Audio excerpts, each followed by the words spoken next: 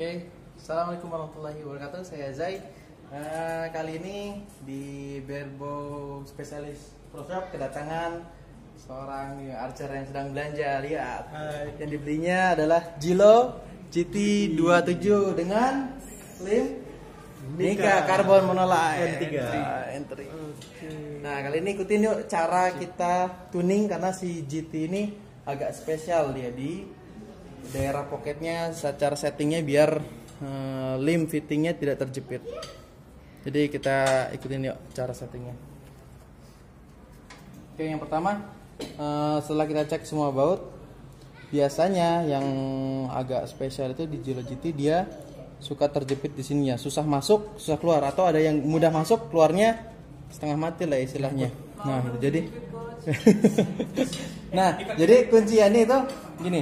Jadi ketika kita beli Gilo dia ada dua baut. Pertama, baut yang luar, baut tanam yang luar nih kita keluarin dulu. Keluarin, lele ke sini. Oke. Ini baut pertama. Setelah baut ini ada baut lagi di dalam.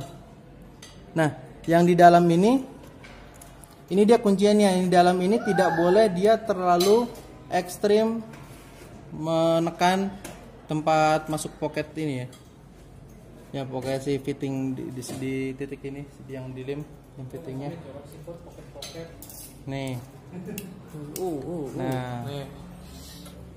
Jadi jangan jangan terlalu nekan. Jadi cukup kalau menurut saya caranya cukup kita lihat ada perger- pergerakan ya di Nah, kan tuh muncul tuh. Nih saya ulangin muncul. Dia nempel. Nah, biasanya kan kalau kita yang umumnya racer, setelah nempel ini kita kencengin kan. Nah, ini jangan cukup nempel aja bahkan agak sedikit longgar dikit. Kalau saya sukanya sekedar nempel dah. Kok nanti lepas? Enggak. Itu dia gunanya tadi ada dua. Ininya dia kendor jangan terlalu kencang sekedar nempel. Kemudian baru yang luarnya yang kita patenkan ekstrim ngunci. Kita coba masukin dulu.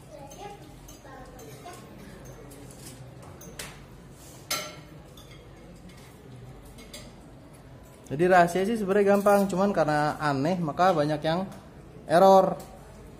Sebenarnya gitu. Jadi yang dalam ini besi dalamnya kita sekedarnya aja, nggak usah kenceng-kenceng. Yang sebelahnya juga, tapi yang kenceng yang mana? Biar nggak terjadi kendor-kendor lepas-lepas yang baut keduanya. Iya, rusak nanti sini lecet nih rusak sini dari sini. Nah kita lihat yang tadi ikutan komennya, dia sepertinya ingin komen-komen. Ah, ini pelakunya. Ada yang bareng Ero. Oh iya Ero nanti dulu, nanti kita bikin video Ero. Oke next selanjutnya. Oke sekian. Jadi tadi kunciannya di Gilo GT dia agak spesial. Kita harus caranya nggak kayak racer umumnya. Hati-hati di saat memasang baut dua ini kunciannya. Dah itu aja dari saya. Tetap semangat, jangan lupa tuning busur, jangan langsung pakai. Assalamualaikum warahmatullahi wabarakatuh.